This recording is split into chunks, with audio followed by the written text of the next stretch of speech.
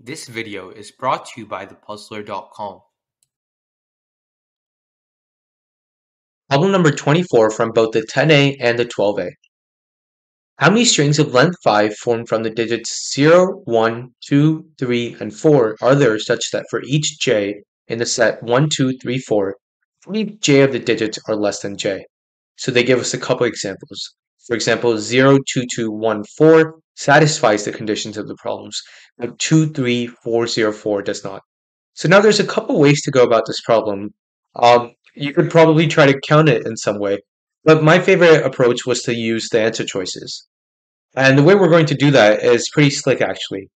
So let's say we have some string of the form A, B, C, D, and E that satisfies the conditions.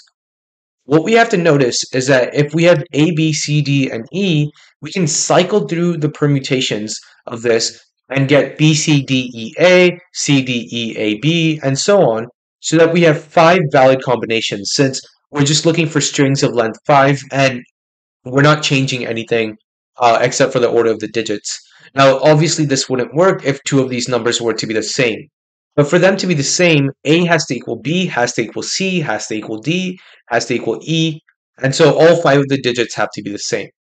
Now, that's never going to be the case, except if all five digits are zero, because at least one digit is less than one.